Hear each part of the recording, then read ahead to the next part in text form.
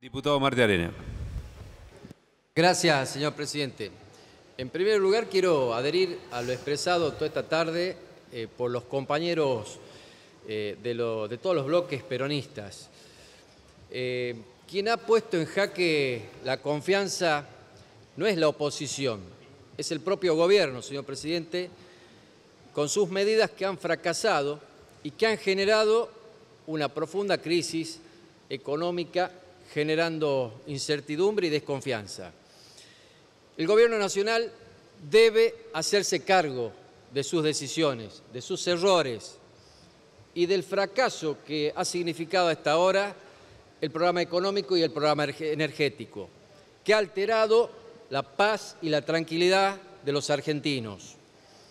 En estos dos últimos años, nuestro país se alejó del autoabastecimiento energético. Hubo una caída de la producción del petróleo, del gas, y no llegaron las tan anunciadas inversiones. Estos dos años aumentó desproporcionadamente las tarifas públicas, que excedieron ampliamente lo que es algo justo y razonable. Hablamos del 700% del aumento acumulado del gas, las tarifas eléctricas se multiplicaron por 30, no se respetó el criterio de la Corte Suprema cuando se expresó una acordada hace dos años atrás. Estos tarifazos, señor presidente, trajeron dos situaciones. Grandes beneficios económicos para unos pocos a costa de traer grandes perjuicios económicos para la inmensa mayoría de los argentinos. ¿Qué está pasando hoy en Jujuy y en todo el norte grande argentino? Llámese no INEA. La gente está sufriendo, los comercios están cerrando, los productores están bajando sus brazos, los clubes, las instituciones de bien público que hoy necesitamos que estén activas porque hacen a la contención social y a la prevención de las adicciones, también están con serios problemas de funcionamiento. ¿Qué vamos a hablar de los millones de desocupados que no solamente tienen que lidiar contra la pobreza, sino también que no pueden acceder a un derecho humano, porque hay que entender que la energía y el agua hacen a la vida, hacen a la salud y el Estado, un Estado humanizado, señor presidente, debe garantizar el acceso y que se facilite de estos servicios básicos a la población.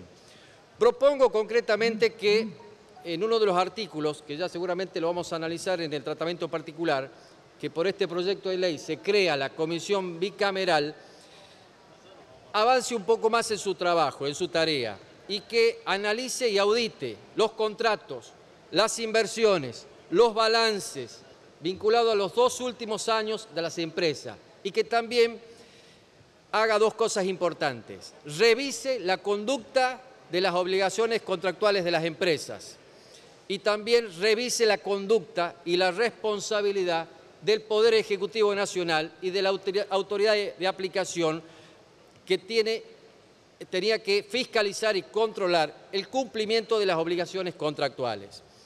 Los usuarios se quejan en toda la Argentina, señor presidente, y fundamentalmente en esta región, porque ven que el mejoramiento de la prestación y calidad de los servicios no ha llegado y no es compatible con lo que le están cobrando las empresas. El gobierno, lamentablemente, señor presidente, no se deja ayudar.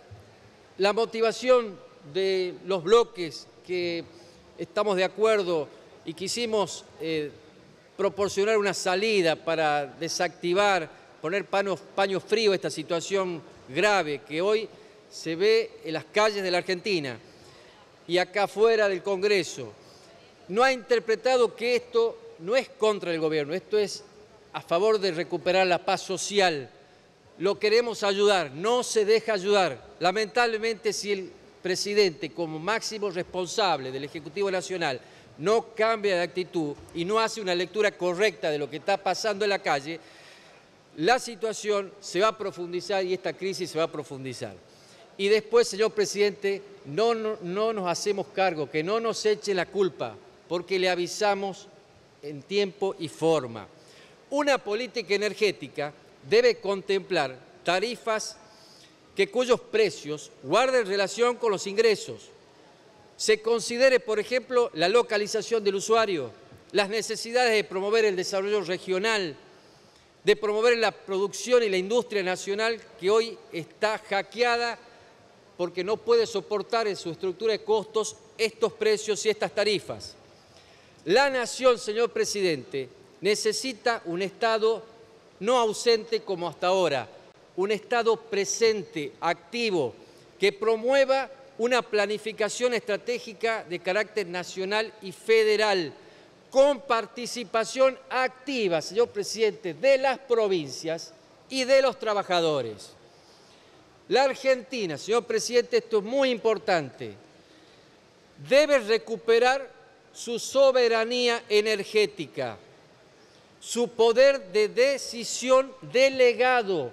No podemos seguir adelante en haber delegado una cuestión tan estratégica que hace la soberanía nacional en los privados es responsabilidad del Estado, de la nación, controlar, regular, planificar el desarrollo y la política energética en el país para lograr eliminar la inequidad tarifaria y garantizar también un crecimiento armónico de nuestro país y especialmente de las regiones más desfavorecidas.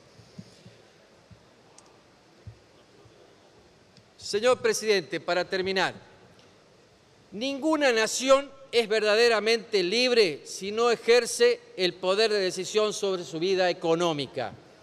El presidente Macri decidió volver al Fondo Monetario Internacional. Su principal aliado, el radicalismo, se enteró por los medios de prensa. Este acuerdo que está en marcha significa para nuestro país y también para Jujuy, mi provincia, perder la independencia económica y resignar la soberanía nacional. Es inaceptable la decisión del gobierno de someternos a las imposiciones del Fondo Monetario Internacional.